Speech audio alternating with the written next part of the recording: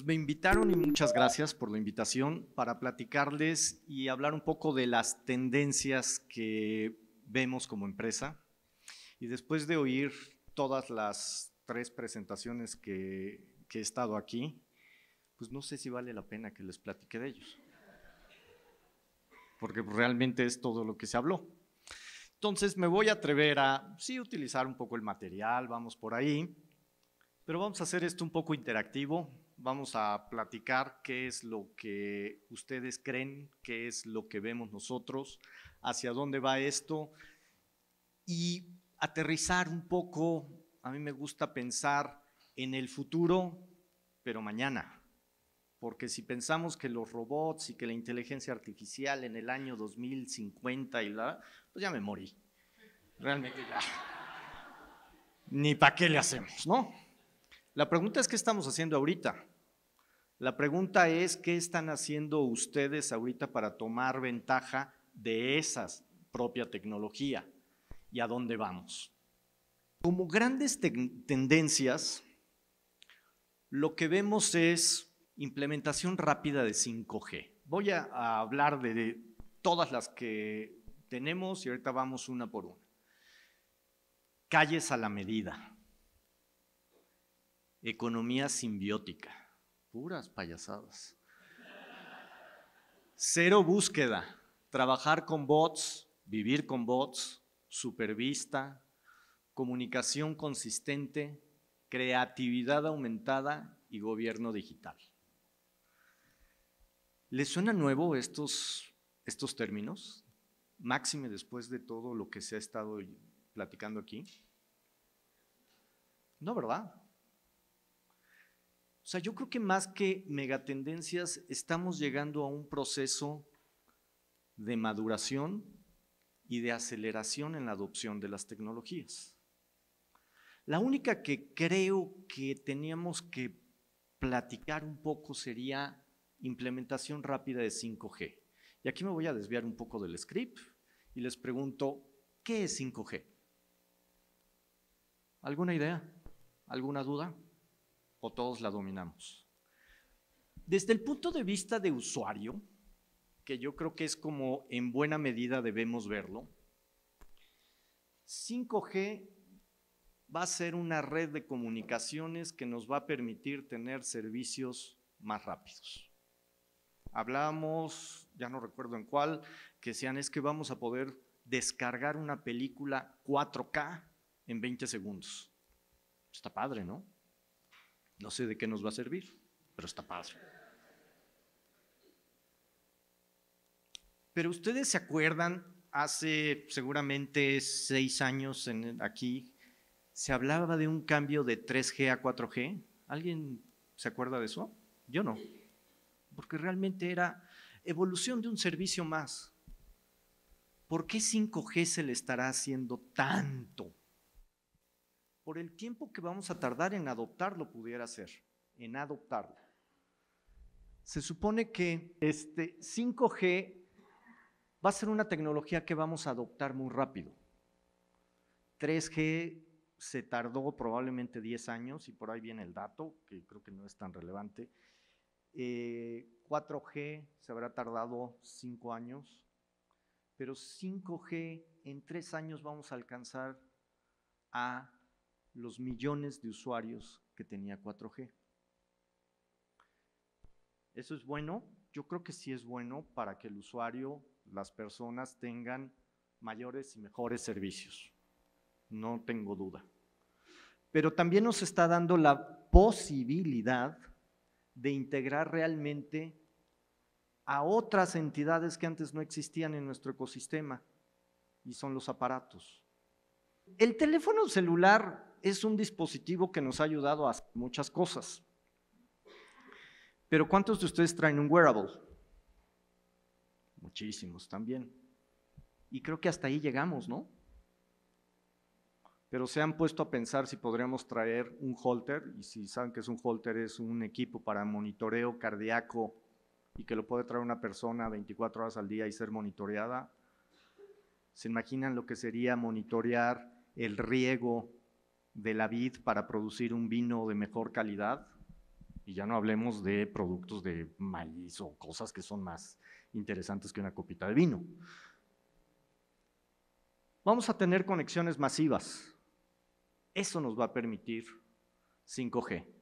Baja latencia. Este es un término que siempre se usa y estoy seguro que no queda claro. ¿Alguien sabe qué es baja latencia? Carga rápido.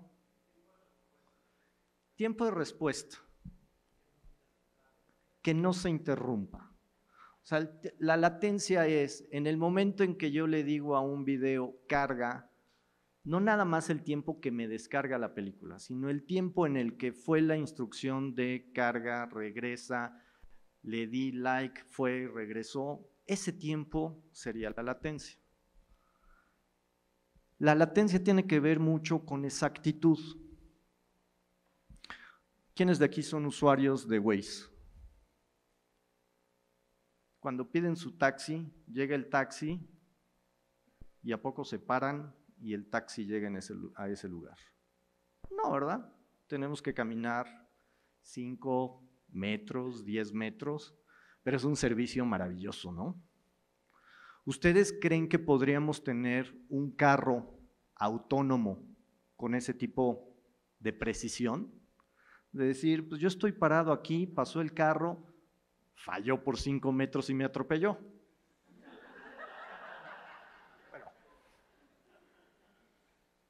Ahí sí necesito alta velocidad, una latencia muy baja y una precisión muy alta. ¿no? Eso me va a permitir 5G. El otro término es gran ancho de banda. ¿Por qué necesitaré gran ancho de banda? La respuesta es pues, para bajar mi película en 20 segundos. ¿no? ¿Perdón? El peso de datos. O sea, porque aquí hablamos de millones de dispositivos que van a estar conectados. Y esos van a estar generando poco o mucho, pero van a estar generando datos. ¿Sale? La masa de datos que se va a estar generando va a ser bestial. Necesito poderlos manejar rápido. A mí me da tristeza pensar que pues vamos a darle un dispositivo 5G a los alumnos de secundaria o preparatoria, pues para que vean YouPorn, ¿no?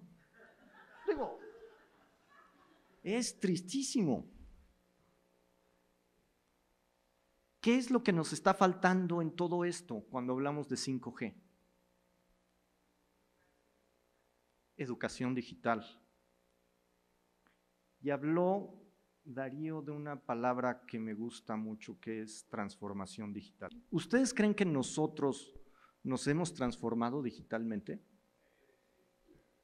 ¿Sí? Pues para llegar aquí antes utilizábamos, si no sabíamos llegar, el guía roji, ¿no? ¿Sí? Y ahora ese mismo proceso lo hago digitalmente, lo hace un teléfono, se llama Waze y me trae hasta aquí me transformé digitalmente. Yo no, la aplicación, nada más que a mí me hizo más inútil.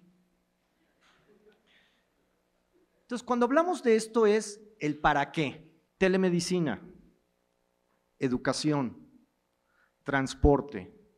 Son cosas que podemos hacer ahorita de manera limitada y en el momento que hablemos de 5G lo vamos a poder hacer de forma acelerada.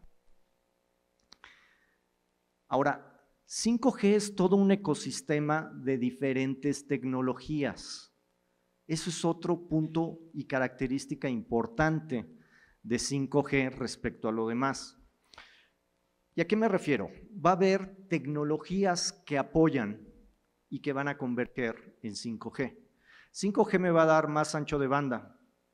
Pues necesito más fibra óptica. Estamos en un país en el que nos falta mucha fibra óptica. No nada más para llegar de aquí a Toluca, la ciudad más cercana, sino tenemos que llegar a Toluca, tenemos que llegar a cada una de las casas que hay en Toluca y tenemos que llegar con fibra óptica. Si no lo podemos llegar con fibra óptica, entonces lleguemos a través del espectro con un teléfono 5G que me dé ese tipo. Entonces, empiezan a converger, ya hay ancho de banda, necesito mucho. Pero voy a necesitar otra tecnología que no pensamos mucho, que son data centers. Data centers va a ser un insumo fundamental para todos estos ecosistemas que estamos hablando. Inteligencia artificial, está padrísimo, muy bien. Yo quiero, aquí hacen cine, ¿no? Ok. ¿Han pensado en tener un proceso de rendering en la nube? ¿Qué es lo que vamos a necesitar? Más centros de datos y cada vez más cerca de los usuarios. ¿Por qué? Pues de nada me va a servir tener un servicio de nube para hacer el rendering de una película, si tengo que mandar toda la película completa a ese centro de datos, que se va a tardar dos días en llegar, que me lo va a procesar rapidísimo y dos días en regresar. Pues mejor tráete el centro de datos y hagámoslo más cerca. Rendering no creo que sea el mejor ejemplo en términos de volumen, pero sí en términos del servicio. Ancho de banda, data centers. ¿Qué más necesito? Servicios cloud. Hablamos que el cloud es una computadora que está en, algún lado. Pero ¿qué característica tiene el cloud? Que son recursos que son compartidos por todos. ¿Sí? Y el cloud no me sirve nada más para subir mis fotos al iCloud. Pues sí, pues está padre. O para compartir documentos colaborativos, a eso está mejor, ¿no? Pero me da oportunidad de tener acceso a recursos de muy alta tecnología a una fracción del precio porque lo uso nada más por un tiempo determinado. Si no pensamos en esa tecnología, todo lo que hemos hablado, inteligencia artificial, eh, este, big data, Internet de las cosas, se empieza a complicar. Entonces tenemos que pensar en ese gran ecosistema que nos va a llevar. ¿Ok? Big Data es una tecnología que también tiene que estar presente en todo este ecosistema. ¿Por qué? Por la gran cantidad de datos. Aquí entiendo, y es la primera vez que vengo a esta eh, eh, universidad, que es pura gente creativa. ¿Cuántos de aquí se dedican a análisis de datos? es la profesión más demandada en los próximos 15 años a nivel mundial por la necesidad que se va a tener. Entonces eso es algo que hay que tener en cuenta. E, esas son las tecnologías que tenemos que tener en mente para poder hablar de lo que viene. Si no, lo que nos va a pasar es que nunca va a llegar porque no tenemos la infraestructura. Muchos de ustedes han de decir, ¿y qué hace Huawei hablando de infraestructura? Somos una empresa de infraestructura de telecomunicaciones. Somos el proveedor más grande de infraestructura de telecomunicaciones. Cuando ustedes hacen una llamada y se conectan, pues en México con AT&T, con Telefónica, con Telcel, esas llega a una torre de comunicaciones y eso va a tener equipo Huawei que se comunica a una central telefónica con equipo Huawei, a un centro de datos que seguramente va a tener equipo Huawei y va a regresar la llamada a otro teléfono que espero que sea Huawei, ¿no? Entonces, somos una empresa que nos dedicamos a la infraestructura. De ahí entonces que vemos para qué vamos a utilizar todos estos. Baja latencia, bueno, ya vimos el por qué y para qué. Si queremos hablar de telemedicina como cirugía, más vale que tengamos latencia. Yo quiero pensar que puedo utilizar esta tecnología en este país para que vaya un médico de primer nivel con una tablet y tenga una visita a un pueblo remoto y le dé asistencia a esas personas y cuando tenga un problema ese doctor se comunique con un doctor en un centro de salud más avanzado y puedan diagnosticar algo más sencillo. Y no tenga que esperar una persona que esté en un pueblo remoto, que tiene un padecimiento sencillo, a que se empeore y cuando se empeore entonces lleva a un hospital y un centro de salud y empieza el círculo vicioso de que nunca hay recursos. ¿Necesito 5G para eso? Pues no. Esas son tipo de soluciones que ya podemos tener y se pueden hacer. Y ese es un ejemplo de muchas otras que se pueden hacer. Ahora sí, vamos a ver.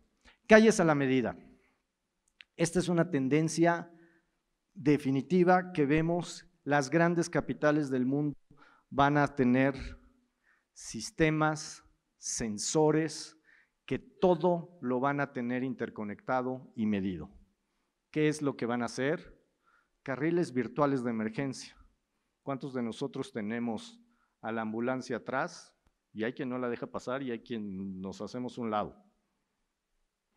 Dándole inteligencia a los autos, a las mismas calles, la misma calle va a hacer que mi auto cambie de carril y le dé paso y vía libre a una ambulancia. ¿Eso se puede? Pues si vamos avanzando en ancho de banda y creamos un ecosistema donde todo esté conectado, claro que lo puedo hacer. Y aquí hablamos de sistemas tránsito, pero también podemos hablar de sistemas de seguridad. Siguiente, economía simbiótica. Para el 2025, el 85% usará cómputo en la nube. Cómputo en la nube implica crear esos grandes ecosistemas. ¿Quién se ha convertido en un muy buen socio de todos los restaurantes en México? Uber Eats, Rappi. Eso es una economía simbiótica. Eso es lo que está haciendo que la economía digital esté aumentando. Se proyecta que para el año 2025 el valor mundial de la economía digital sea de 23 trillones de dólares. Trillones en español. ¿Ok? ¿Qué es lo que eso significa? No es el valor de la comida lo que va a cambiar, es el valor agregado a través de plataformas digital que se le está entregando, se le está añadiendo y va a crear. La pregunta que yo me hago es, ¿cuántos de esa millonada vamos a tener en México? Pues, ¿qué estamos haciendo para ello? Ok, estos son ejemplos de esa economía. Hay un ejemplo y los invito a que visiten la página de Huawei Tech for All ¿sí? Tecnología 4 All, tecnología para todos, donde hay un caso que estamos utilizando teléfonos inteligentes muy viejos. Si han visto, bueno, tienen idea, estamos en México, nosotros con el P30, que es el, el teléfono más avanzado. Bueno, ahorita ya salió el Mate 30, pero bueno, el Mate 40. El P30 es el que teníamos utilizando teléfonos P9, con lo cual les estoy diciendo, son varias generaciones atrás, un proyecto en la selva de Costa Rica para salvar la tala y el ecosistema de los monos araña. ¿Cómo se hace? A través de la tecnología y de todo esto. Cero búsqueda. ¿Se les hace que esto es el gran futuro o ya existirá? ¿Cuántos de ustedes van a un restaurante, salen del restaurante y les llega un mensajito de Google? ¿Te gustó el restaurante? Danos tu opinión. Eso es búsqueda. Y eso nos lleva a un tema también de seguridad. ¿Cuántos de aquí tienen redes sociales? Yo me pregunto es con qué pudor le dieron su información a esas redes sociales. ¿No? Y luego nos sorprendemos, saben todo de mí, son unos malditos. Bueno. Aquí vamos a llegar, cuando las cosas sean por intención.